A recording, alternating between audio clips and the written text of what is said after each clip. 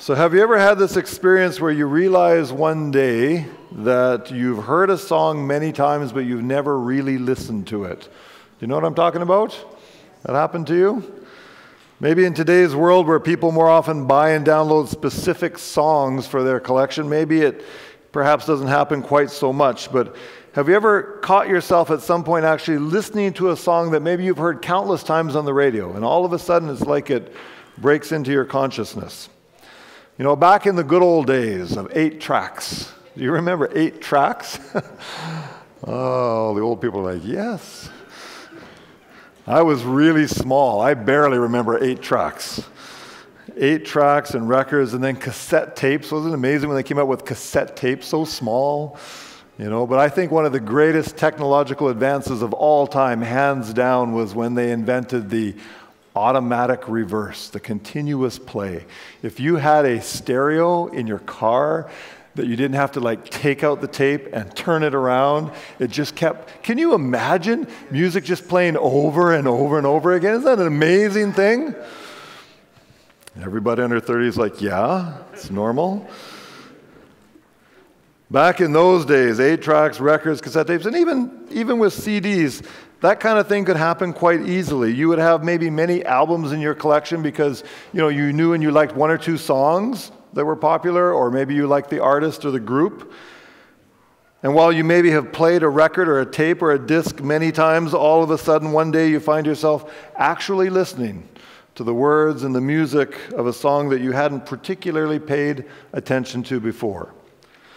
That's what happened with me with this song that I would like to share with you and reflect on today. I was all alone, involved in the long journey home from Willowdale Church to my home, which is like four kilometers, but can take a long time. So I was I was driving back from church one day. I don't know when this was, a few weeks ago, a couple of months ago, somewhere in the last, I don't know, three or four months. And uh, I happened to have Michael W. Smith's 2004 Healing Rain CD in the player. And you know, I think 2004, that's, that's, that's pretty modern. But then I realized for some of you here, that's like before you were born. But it's really not so far ago. But, anyways, I, I had, happen to have that in the player, and for whatever reason, maybe you can call it distracted driving, I don't know what it was, but for whatever reason, I found myself actually paying attention to and listening to one of the tracks that I had heard many times before a song called I Am Love. And I don't know, you know how sometimes all of a sudden you hear a song and I became intrigued to listen to it again when I got home and, you know, pull out the CD sleeve and actually try to read. They always have crazy graphics, but try to read the lyrics and see what was going on. And in one sense, I found the song a bit puzzling because it wasn't immediately clear to me whether this song was mostly a personification of the quality of love, you know, as if love as a person could describe itself Hi, I'm love, and this is what I'm like. I wasn't sure if that's really what the song was about, or was it really a song seeking to express the sentiments, thoughts, and words of Jesus Christ? In other words, a song written from his perspective. So, let me read the lyrics, and then I'll share with you what I've concluded about them. The song called I Am Love. This is how it goes I am not passersby. I am not a white lie, and I am not left to die. I am love. I am love. I am not feeling sad. I am not the new fad. And I am not quickly mad. I am love. I am love. I am not standing by. I am not letting go. And I am not leaving you. I am love. I am love. You can try to hide, you can try to run, but you'll never run far enough. This is my flesh, this is my blood, and I am love. You can fly up high, you can dig down deep, you can flee to the west or flee to the east, but you can't escape what I've done because I am love. My blood fell like rain. I did not bleed in vain but from my veins, I am love. I am love. So I spent some time listening to that song and pondering and reflecting on its lyrics. And as I've done so, I've come to appreciate it more and more. And I've also come to the conclusion that I think this really is a song about Jesus and his love and his sacrifice.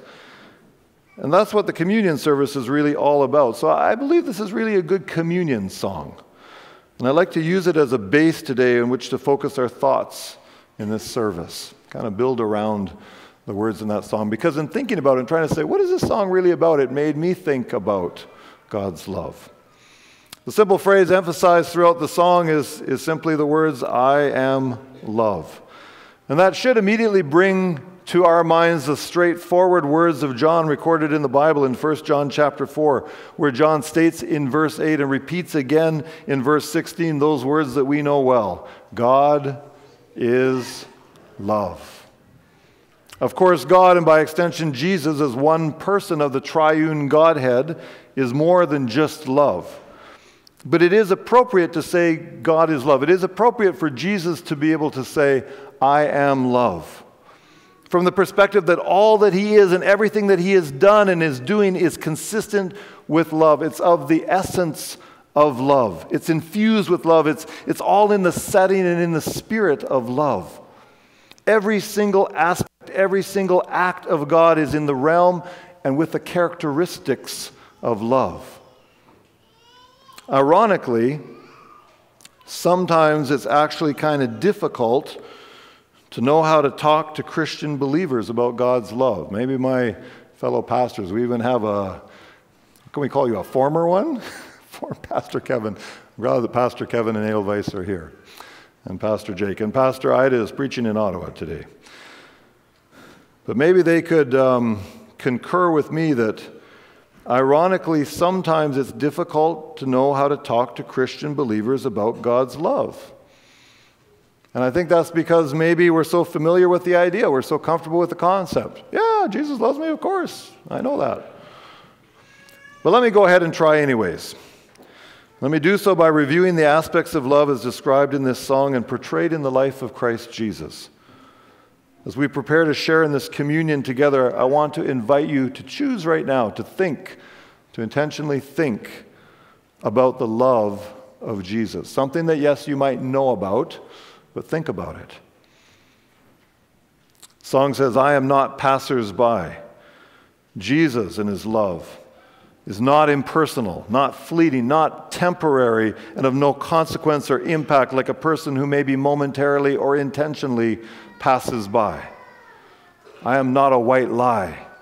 Christ is not just a harmless, polite little concept of no real significance, an accepted non reality not worth challenging. He is not any kind of lion, neither is his love. In fact, he's recorded saying in John 14, verse 6, I am the way, the truth, and the life. And I am not left to die. He and his love are not something disposable, something past due and past use, something finished and done. His continuous life means continuous love, fresh and relevant. And I am not feeling sad. Jesus is not just a feeling or an emotion, some kind of emotional or spiritual crutch for people who can't handle life on their own. He is so much more than that. His love isn't just for when you're feeling down, but it's for all of life, every aspect. And I am not the new fad. The Lord is lasting, principled, relevant over the long term. No matter in what season of life or in what era you engage with His love, it will be valuable, it will be beneficial, it will be pleasant, and it will be beautiful. He's not necessarily the latest thing, and He doesn't require current popularity in society to be of value. The life and salvation he offers is something that is based on more than the fleeting and fickle whims of a society with a short attention span, you know? Oh, I like Jesus. Oh, now I like someone else better.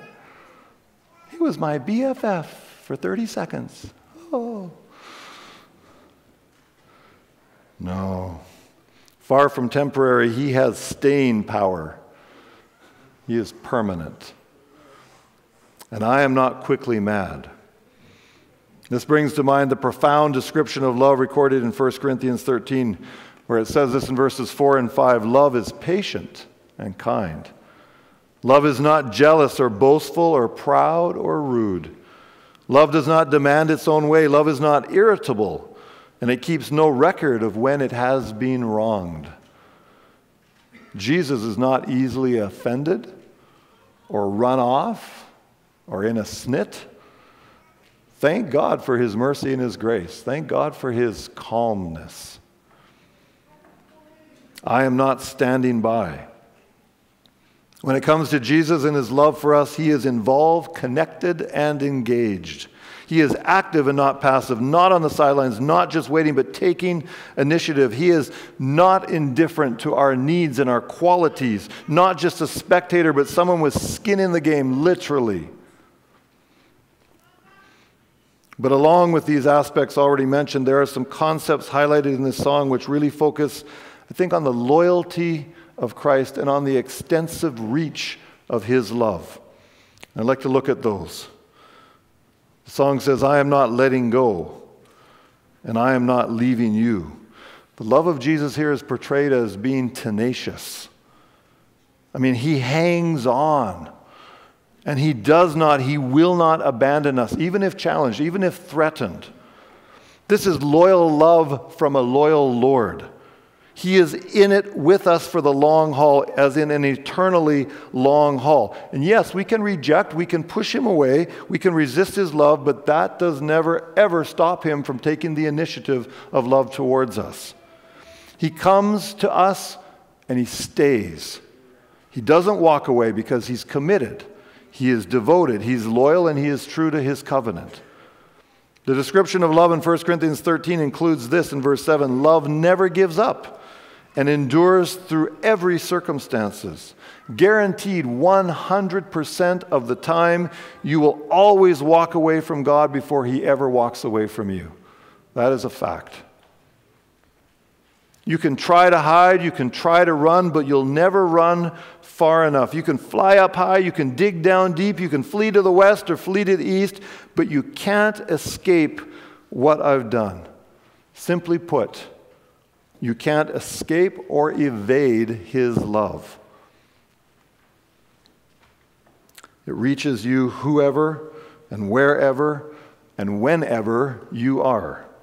The merits of Christ's life, love, and sacrifice reach every single person, whether they're aware of it or not, whether they're open to it or not, whether they accept it or not. His sacrifice will find you. His sacrifice will reach you because the ripple of His love spreads beyond all humanity. You are free to reject it, yes, but you cannot ever be outside the realm of its reach. There is no way to sidestep it or escape it.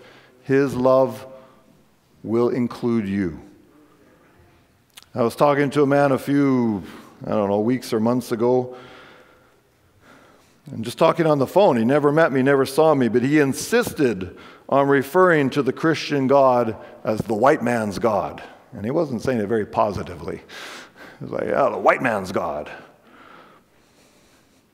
Bless his heart, he was so wrong. He was so wrong. Because God is not the exclusive domain of any one skin color, or any one language, or any one race. He's not the God for just one segment of society. In other words, if you have ever been a human being, which looks like most of you, looks like all of you, then the love of, the love of Jesus has extended all the way to you. That's the fact. All the way to you. And when you embrace and accept that love, then it is incredibly reassuring to know that nothing external can pull you apart from that love. Nothing can pull you apart from Him. That's what makes the words read in our scripture reading so beautiful, so powerful that Edwin read from us. And I want to I know it's communion Sabbath and we're always late and all that stuff, but I still want to go to the Word of God and just read this again from that scripture reading. Romans 8.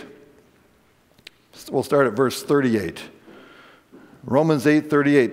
It's talking about the Christ who loved us. And Paul says, And I am convinced that nothing can ever separate us from his love. Death can't, and life can't. The angels can't, and the demons can't. Our fears for today, our worries about tomorrow, and even the powers of hell can't keep God's love away. Whether we are high above the sky or in the deepest ocean, nothing in all creation will ever be able to separate us from the love of God that is, that is revealed in Christ Jesus our Lord. So, yeah, we've made a lot of assertions here, statements about Jesus and the quality of his love. Okay, but where's the proof? Where's the real life evidence? And that's what is hinted at in the song, I think, when it says, But you can't escape what I've done. Because it's fine to proclaim, I am loved, but what have you done to show it, right? Who wants to be loved without any evidence? And it's, it's really the part of the song that what first caught my attention, driving up Bathurst. It's what I've come to especially appreciate about this piece of music because this is the part of the song where it climaxes. And yet, it's also the part of the song where it very gently and quietly ends. And it's this focus on the greatest evidence, the most potent display and proof of Jesus Christ's love. The part that says, This is my flesh, this is my blood. My blood fell like rain. I did not bleed in vain, but from my veins I am love. The life and the death the sacrifice of Jesus for you and me. I mean, come on, how better, how more powerfully and perfectly could God have possibly revealed and proved his life, his love? What else do you want? What greater evidence of his love, what greater act could Jesus have possibly done to provide assurance of his love for us? What could he do to show it more? John 15, 13 records the words of Jesus. He said, The greatest love is shown when people lay down their lives for their friends. But Christ took it way, way up above, several notches above that. 1 John 4:10 says this is real love. It is not that we love God, but that he loved us and sent his son as a sacrifice to take away our sins. Only God can rightfully say, I am love. The love of Jesus is beyond comprehension. Without any sense of regard or care on our part, he was willing to innocently lay down his perfect, eternal, divine life to give us a hope, give us a chance, give us a reason to love. Thinking about the love of Jesus revealed in his selfless sacrifice is simply awe inspiring. It is humbling and yet ennobling all at the same time. And what's so amazing is that he, he does not see his sacrifice as love as being in vain, in spite of the fact. The, the harsh reality is that it seems the majority of humans, they trash and ignore his love. And yet, it's like if you alone accept it so that you can be saved from sin's lifeless end and enjoy an eternity in loving relationship with him, then, then if you alone will accept that, then he considers it all worth it. He doesn't consider his love to be wasted if it's just you and a couple of other people. Because it's what he does, it's what he is. And his loving sacrifice was more than enough to accomplish the salvation of every human being ever. And when you and I accept that and value that loving sacrifice, then Christ's blood did not fall in vain. It's like Jesus is saying to us, I am love. I love you. How can I show you and convince you of just how deeply I love you? Here, how about this? My flesh and blood. Blood poured out from my own veins for you. You know, the words, this is my flesh, this is my blood, they should remind us of the account recorded in the Bible in John 6, where Jesus is talking to some people there in verse 53. And he said something kind of strange. He said, I assure you, unless you eat the flesh of the Son of Man and drink his blood, you cannot have eternal life within you. That's different. And oh, how intensely much more meaning those statements took on following the Last Supper meal when Jesus used the bread and the grape juice of the Passover meal to represent the personal, physical sacrifice of his body and blood given in love. All of a sudden, what he said started to make more sense. And it's what we focus on, it's what we contemplate, it's what we celebrate, it's what we luxuriate in as we share together in this communion service. I love how Ellen White described the effect Jesus Christ's loving sacrifice should have on us.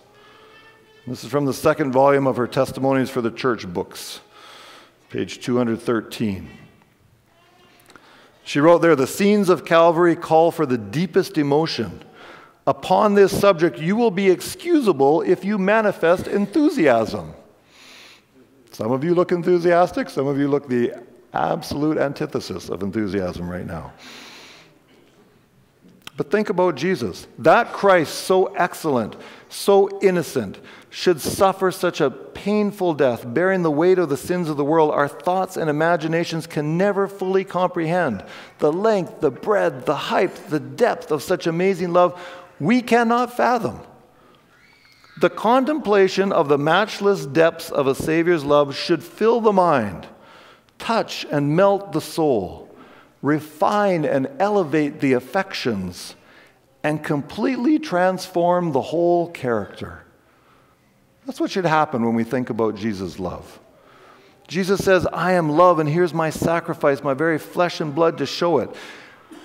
So if we don't leave here a little bit changed today, you know, if, if, if after thinking about Christ's love and sacrifice, if we aren't a little bit more enthusiastic about our Lord, if we aren't a little bit more filled with awe, if we aren't a little deeper in our love for Jesus, it's not His fault.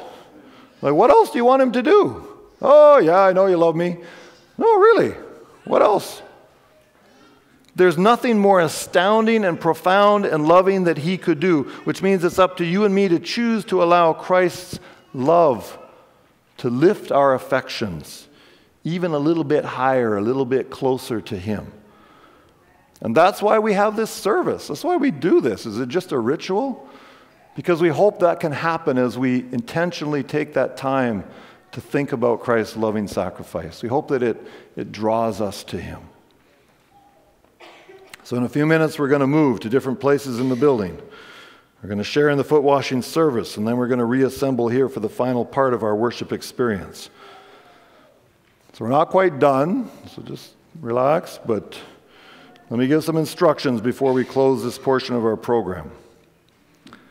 The communion service is meaningful for those who love Jesus and have connected their lives to Him.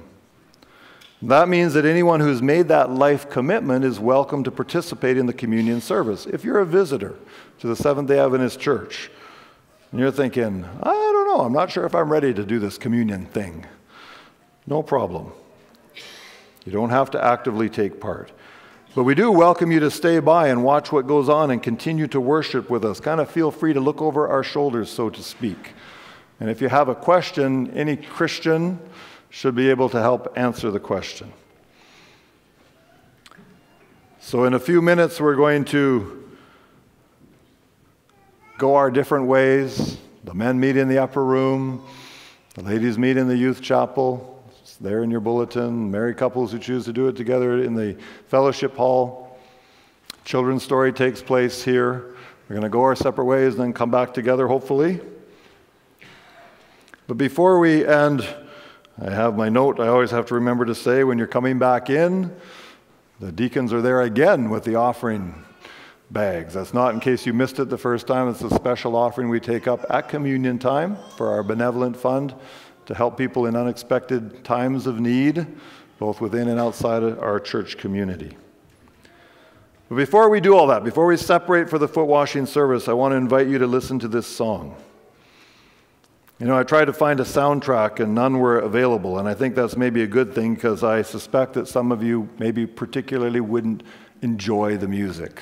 You know, everybody has different music they like, and I'm sure some of you wouldn't like the music. So maybe it's just as well.